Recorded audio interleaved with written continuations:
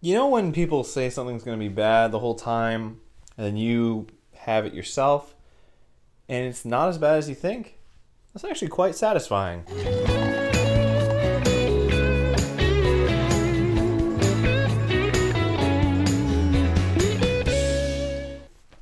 Hey guys, this is my review for Suicide Squad. This is the first film that, uh, it's first comic book movie that I was really excited for that I didn't see the midnight showing for, mainly because I just, with everything that happened over the last few weeks, I just didn't feel like it. So I saw it just now. It's not as bad as people say it is. There are issues. There definitely are some issues. The first thing I'll have to say is that this film feels too tonal. There are certain parts of the squad that are really heavily introduced, and then there's people who they just shoehorn in. I'm looking at you, Slipknot. Wow, you. but there are things that you notice. There's scenes that are definitely missing. There's stuff that's added that's kind of unnecessary. And there's a lot more about these characters. There's one thing that Chris Stuckman said that for a character to exhibit his traits, you don't have to tell the audience everything. You can show them what they do.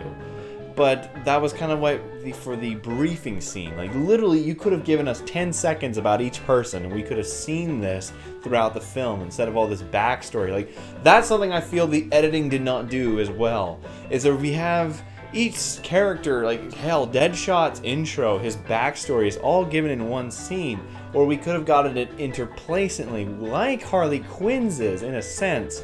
But I feel that that could have been, we could have had these little flashbacks in between, dispersed throughout the film.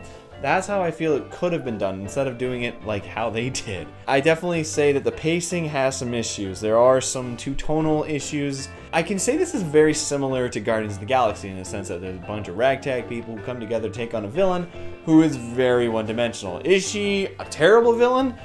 She's not good. She's definitely not all right. She's the whole villain aspect is not very intriguing, but hell, we all love Guardians of the Galaxy, and Ronan was the most one-tone character I've ever seen in a Marvel film. Like, he was only being by one-toneness by the Ant-Man villain, and that guy was just a pure murderer. The characters themselves, each one I thought was very interesting. The main ones. Deadshot really well done by Will Smith. He really holds up the film. Margot Robbie was fantastic as Harley Quinn. Her mix of a Boston accent and everything else into the character really. It took a lot of elements from Arkham and the television show, uh, the animated show, and brought it onto the screen in a much more mature attitude.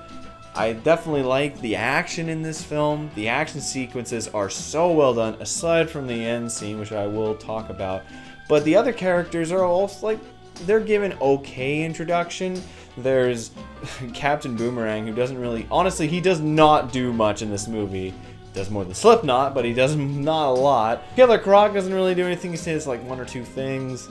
Uh, the rest of the squad, really, actually, the character I like the most, who wasn't a part of the Suicide Squad itself, was Flag he was actually really well acted by Joel Kinnaman, in my opinion. I think he we see this guy who hates these people, who hates the whole idea of it, and he comes to actually respect some of them. Especially him and Deadshot.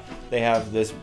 there are some scenes that are kind of like, eh, like the humor isn't really there, but you really see these characters start to develop each other, and throughout all the issues, you can see there is something there it's not as pitch patch say as other films are, but there's definitely pieces that felt missing throughout the narrative. Action's really good aside from the end sequence. The end sequence was so terribly DOP'd.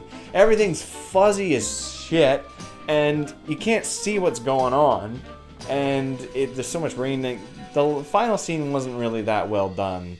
However, I still very much enjoyed watching this film. I would watch this film any day over Batman vs. Superman. David Ayer brought something that was much more different. I can't wait to see what his final vision is. This film does have issues. I will not disagree with that, but it is nowhere near as bad as people are saying it is. Some people were saying this film is worse than Batman vs. Superman.